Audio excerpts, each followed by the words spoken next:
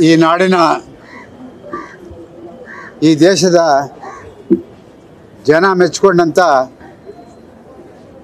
ಅದ್ಭುತ ಕಲಾವಿದರಲ್ಲಿ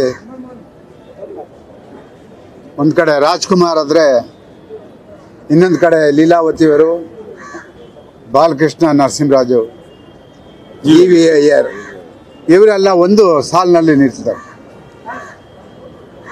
ವೀರಕೇಸರಿ ನಾನು ಚಿಕ್ಕ ವಯಸ್ಸಿನಲ್ಲಿ ಸ್ವಾಭಿಮಾನದ ನಲ್ಲೆ. ಆ ಹಾಡಿಗೆ ಇಡೀ ಜನ ಹುಚ್ಚೆದ್ದು ಕುಡಿತಾ ಇದ್ರು.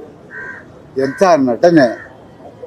ಭಕ್ತ ಕುಂಬಾರ ಯಾರಾದರೂ ನೋಡಿದರೆ ಅವರ ಕಲಾ ಸೇವೆ ಎಷ್ಟು ಅನ್ನೋದು ಗೊತ್ತಾಗುತ್ತೆ. ಭಕ್ತ ಕುಂಬಾರದಲ್ಲಿ ಆ ಅವರಿಬ್ಬರು ಪಾತ್ರಗಳು ಕೂಡ ಹೇಳಿ ಮಾಡಿಸ್ದಂಗಿತ್ತು.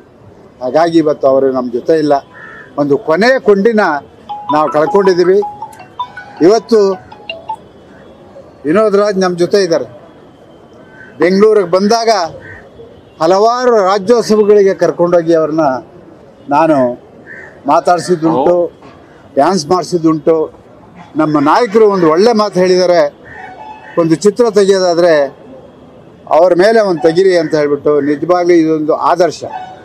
ಈ ನಾಡಿಗೆ ವಿನೋದ್ ರಾಜ್ ಒಂದು ಆದರ್ಶ, ಒಂದು ಶಕ್ತಿ, ಈಗಿನ ಪೀಳಿಗೆಗೆ ಒಂದು ಆದರ್ಶ ವ್ಯಕ್ತಿ ಆಗ್ತಾರೆ ಅಂತ ಹೇಳ್ಬಿಟ್ಟು ನಾನಾದರೂ ಅಂದ್ಕೊಂಡಿದ್ದೀನಿ ಭಗವಂತ ಅವರಿಗೆ ಆ ಶಕ್ತಿಯನ್ನು ಕೊಡಲಿ. ಯಾಕೆ ಅಂತ ಹೇಳಿದ್ರೆ ಅವ್ರು ಅವಾಗವಾಗ ಹೇಳ್ತಾ ಇದ್ರು ನಾನು ಒಂಟಿ ಆಗಿದೆ ಒಂಟಿ ಅದೇ ಅಂತ.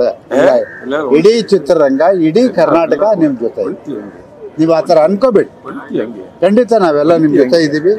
ಭಗವಂತ ಲೀಲಾವತಿ ಅಮ್ಮವರ ಆತ್ಮಕ್ಕೆ ಶಾಂತಿ ಕೋರಲಿ.